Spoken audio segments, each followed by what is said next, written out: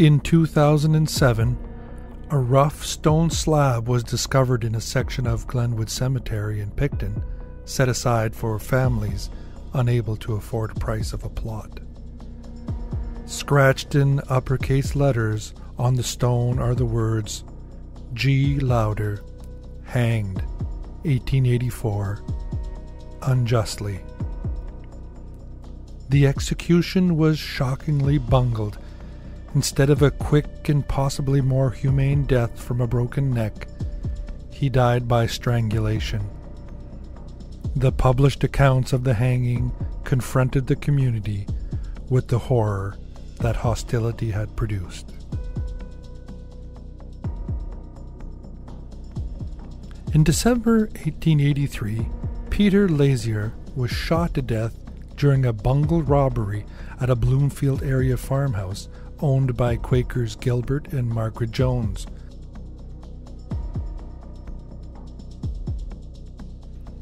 The fateful event unfolded on Saturday, December 21st, 1883. Gilbert Jones, who farmed near the village of Bloomfield, went to the Bloomfield station that afternoon to sell part of his hop harvest, for which he received the considerable sum of $500. Towards evening, he and his wife Margaret welcomed a visitor, Peter Lazier, a relative from Belleville, who would be staying overnight.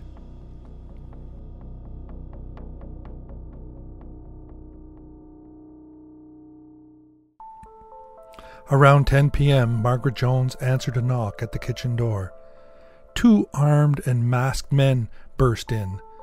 Her frightened screams catapulted Lazier out of his guest room, and in the ensuing struggle, one of the intruders struck Lazier on the head. The bandits fled when Jones emerged from his bedroom, clutching a gun. On the way out, one of them deliberately fired at Lazier. The shot, according to the Gazette, taking effect almost instantly when he gradually sank to the floor and expired.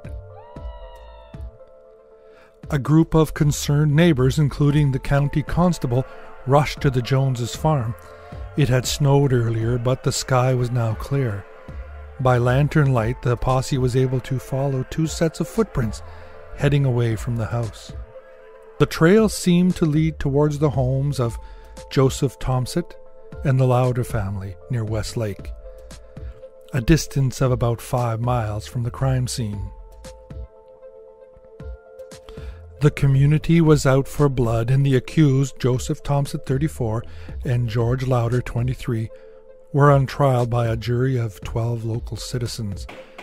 Belleville Police Chief Hugh McKinnon led the investigation, trying to match the crucial footprint evidence in the snow Neighbors who had set out in the night trying to track the killers left a confusing pattern of as many as 12 to 15 different boot markings.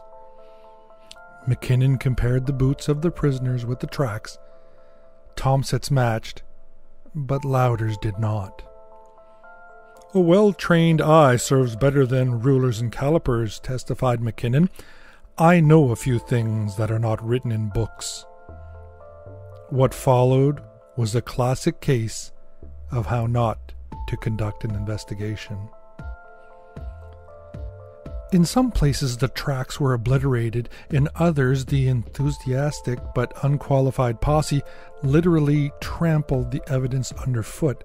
However, based on these sketchy indications, Tomsett and one of the Lauders, David, were arrested early the following morning. David's brother George was in custody by noon. The wildly held perception was that Lazier had been murdered during the bungle robbery attempt. The evidence presented in court was purely circumstantial. It focused exclusively on the footprint in the snow that allegedly matched the boots of the accused. The Joneses' testimony that the intruders were much taller than the accused men was ignored. Lead investigator McKinnon deliberately deceived Thompson's wife into thinking that her husband had confessed and had given direction for her to get the pistol. The murder weapon, however, was never found. The public was shaken to the core by the violent acts unleashed in their peaceful, prosperous community, and from the get go, locals were convinced of the guilt of the accused. They demonstrated their feelings with ferocity. There were dark threats of lynching during the inquest. When the case went to trial in Picton on May 6, 1884, spectators applauded the prosecution and jeered at the defense lawyers. The judge was incensed by the unruly crowd, and on day two he carried out his threat to clear the courtroom. Thereupon, as one newspaper put it, the multitude were driven out by constables like a flock of sheep to their unspeakable disgust. It being understood that no spectator would thereafter be admitted, scores who had come many miles to witness the proceedings returned home. It was noted that although Patterson was considered to be a good judge, he failed at keeping decorum with the crowd that wanted the men convicted, as in the day, once the public had decided someone was guilty, there were few opportunities to change minds. By midweek, the court had decided that there was no case against David Lauder. His boots did not match the tracks, and he was duly acquitted.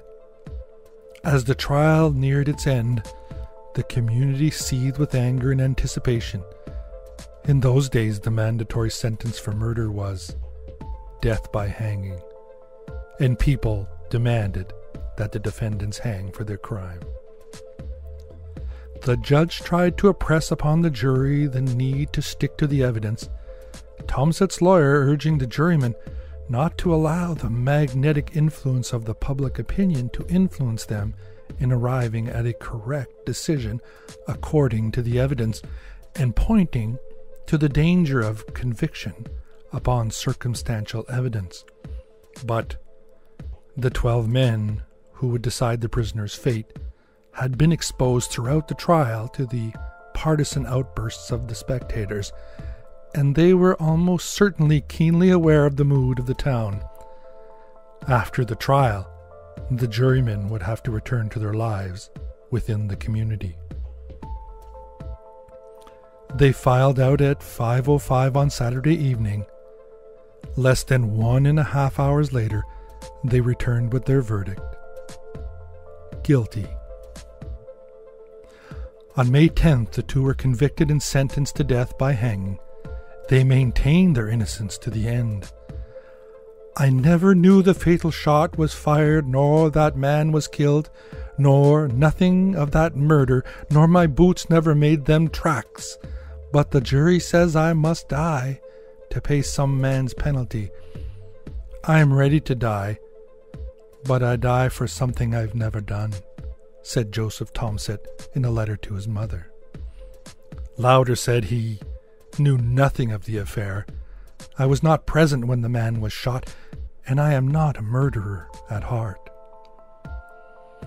The newspaper reported the men could hear their graves being dug by the workmen in the yard beyond their cells. Joseph Tomsett and George Lauder would be hanged at the Picton jail on June 10, 1884.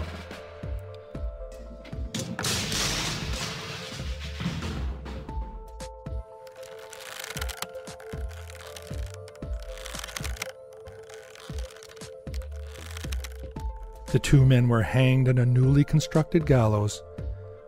One died in five minutes. The other took 14 minutes to die. The hangman's bill was $40 plus $6.50 for refreshments. Not everybody in the county was comfortable with the ugly public outburst that had marred the trial.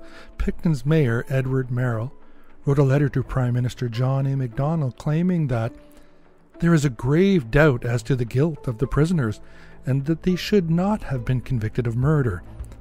The men's spiritual advisers spearheaded a petition for commutation of their sentences, the two clergymen strongly believed that Lauder, at least, had been wrongly convicted.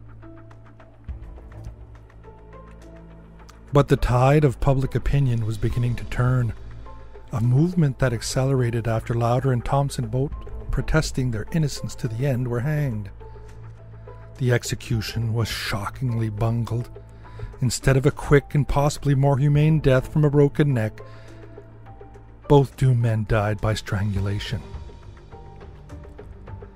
These come from the accounts of the Lazier murder, Prince Edward County, 1884, written by Robert J. Sharpe.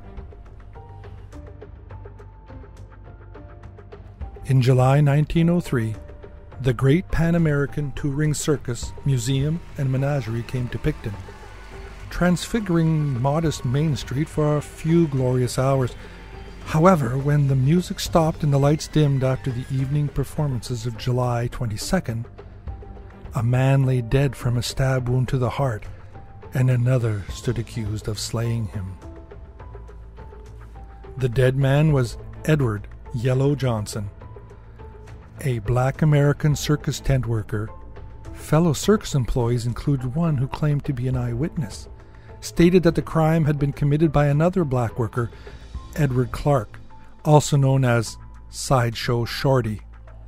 The provincial detective, who had been keeping a close lookout for the kind of petty crime associated with circuses, now found himself faced with a killing. He soon located Clark, who was clutching a pocket knife on Main Street. Clark was arrested and charged with murder. The following day, the circus and its entire menagerie, animal and human, moved on to the next town leaving Shorty to confront his fate alone. It seemed like an open and shut case. Two local newspapers, the Gazette and the Times, categorically informed their readers that Clark was guilty. Excitement in the county rapidly reached a fever pitch. Crowds besieged the inquest and the police investigation. Leading the prosecution when the case went to court in Picton in October was Roger Conger Clute. The same brilliant trial lawyer who had won the guilty verdict in the Lazier case 20 years previously. Clark, a penniless black man from the United States and could not afford a lawyer. At the last minute, the local county clerk, E.M. Young, offered to take his case pro bono. The judge and the 12 man jury were all white. The situation looked bleak for Sideshow Shorty. But in a David versus Goliath court battle, the novice Young undercut Clute's powerful argument. He introduced an element of doubt in the jury's mind by bringing in local witnesses to suggest that this could be a case of mistaken identity. The judge believed the man was guilty, the jury did not. The crowded courtroom exploded into cheers when the foreman returned the verdict not guilty. In an article entitled Spectacular Justice The Circus on Trial and the Trial as Circus, Picton 1903, Carolyn Strange and Tina Loo analyzed the complex extra legal factors that played into this astonishing result. The Prince Edward County of 1903 was not the county of 1884 the bottom had fallen out of the hops and barley markets, and the area was trying to eh, reinvent itself as a tourist retreat. It would not enhance these efforts if Picton were to become center stage for another hanging, and the townsfolk were leery of becoming too closely associated with the killing of one alien by another, an event which, in their opinion, had by sheerest coincidence taken place in their town. Also, crucially, people were still haunted by memories of the possible wrongful conviction and the bungled execution in 1884. Clute, one of the main players back then, had become irretrievably tainted in the public consciousness and conscience. And so, according to Strange and Loo, this poor black man escaped the gallows, not because he was innocent, but because a lowly county clerk had worked on the sympathies of the jury that was dead set against capital punishment. Can a community feel guilt? Have second thoughts? The death penalty is now gone, abolished by the Canadian government in 1976, but this poignant epitaph should forever stand as a reminder of the perilous power of public opinion, especially during that dark period in Canadian history when a guilty verdict meant a sentence of death.